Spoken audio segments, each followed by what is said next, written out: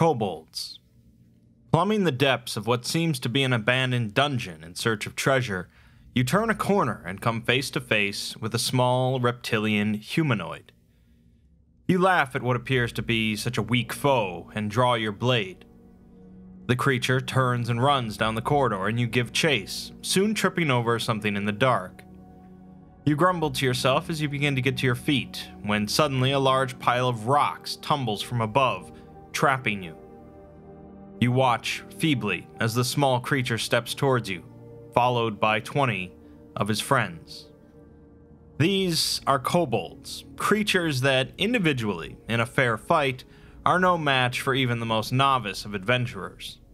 Where they excel, however, and where they've gotten a fierce reputation, is in their numbers their tactics, and their capabilities in setting traps. Compared to some species, they don't possess an excessive amount of lore, and are often just thrown at level 1 parties as fodder, but hopefully this video will give you a new appreciation for kobolds.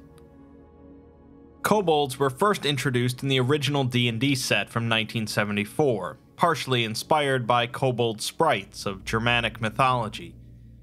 They weren't given much love originally, though, lumped in as similar to goblins but weaker. They were expanded slightly in 1st edition AD&D, still similar to goblins with a hatred for sunlight and most other life forms. Kobolds would still not be in their typical reptilian form for 2nd edition AD&D, where they are described as cowardly and sadistic with a particular hatred for gnomes. Their capacity for trickery is mentioned, though, with a penchant for trapping foes and throwing weapons, or pouring flaming oil on them. Third edition is when kobolds would become the more recognizable form short humanoid reptiles with small horns and a rat like tail. They would go on to be in the basic monster manuals of 3.5, 4th, and 5th edition, without much change. One of the most famous stories about kobolds is referred to as Tucker's Kobolds, a tale in which high level characters are terrorized by particularly clever kobolds. An article was written for Dragon Magazine number 332 titled Ecology of the Kobold that I'll be drawing info from. Let's start with the basics then. Kobolds are small humanoids with reptilian features, standing between 2 and 3 feet in height. Kobolds are physically very weak, but they are agile and possess excellent vision in the dark, making them well suited for cramped tunnels and dungeons. Kobolds, despite their diminutive size, share an affinity with dragons, and one of their primary creation myths involves them descending directly from Tiamat, the queen of evil dragons. They say that Tiamat was once injured by an army of thieves invading her lair and while she was recovering amidst the crumbling ruin of her lair, she decided to prematurely hatch one of her eggs, spawning Kurtulmak. Kurtulmak knew he had to protect his mother, but lacked the strength of a full, proper dragon, so he set out creating hundreds of devious traps in the ruins around Tiamat. Kurtulmak would go on to spawn the first kobolds, teaching them his ways and becoming the primary deity of their race.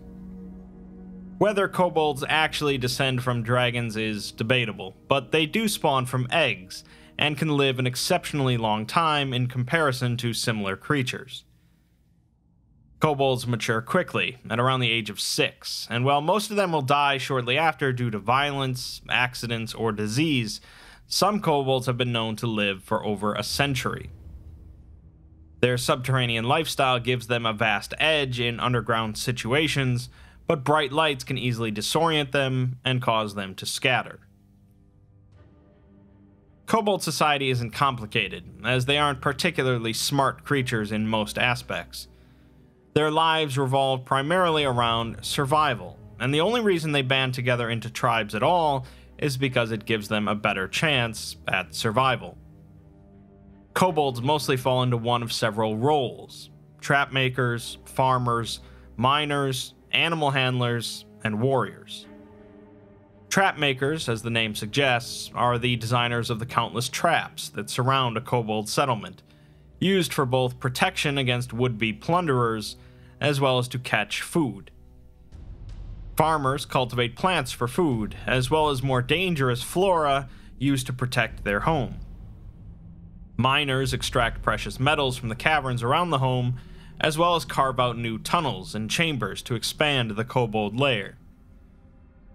Animal handlers capture and train other creatures that are used as frontline defenses around a kobold lair to keep out adventurers. Finally, warriors are the kobolds specifically trained for combat and watch duty, although kobolds are naturally pretty cowardly, so they'll often flee more commonly than fight.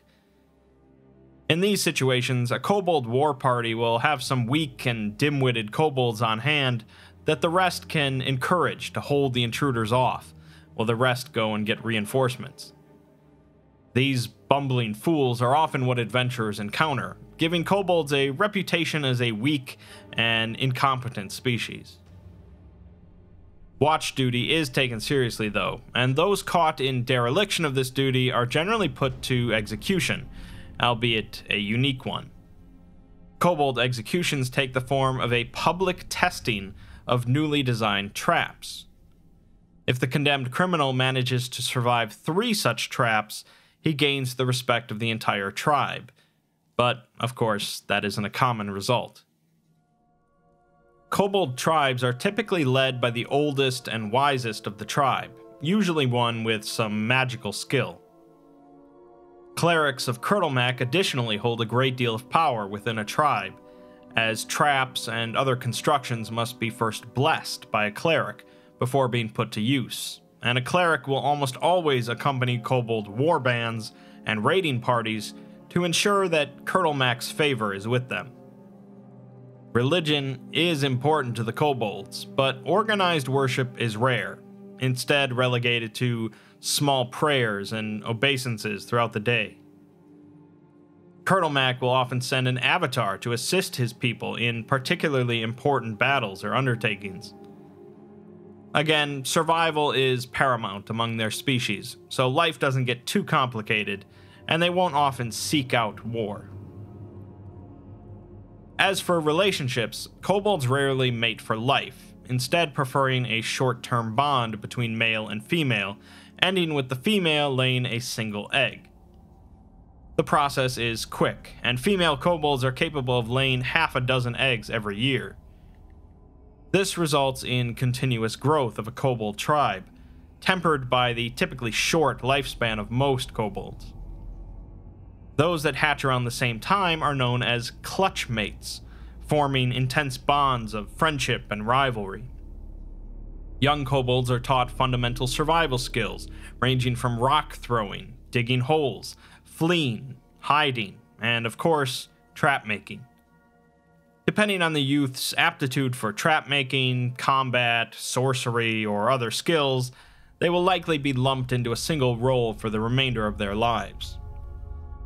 Gender has no bearing in kobold society. Both males and females are placed into any role based on their capabilities.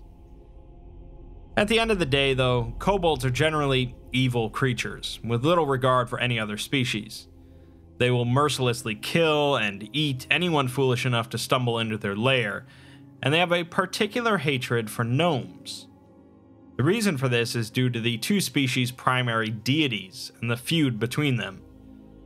The story between Kurtulmak and Garl Glittergold changes from time to time, but Kurtulmak's hatred for Garl and the gnomes is passed down across all kobolds, so they will pull out all the stops to wipe out any gnomes they come across. Personally, kobolds are among my favorite of the lower level foes that a new adventuring party might be faced against. They are proof that one doesn't have to be the strongest, smartest, or fastest to take down a greater enemy than yourself. You just need some clever thinking and some teamwork. Granted, most of the time, kobolds are treated with far less respect in games, where they are just thrown at a party as a simple combat, calling back to early editions of D&D where they were nothing more than weaker goblins. Perhaps, though, this will inspire some people to make kobolds a bit more unique and a bit more troublesome.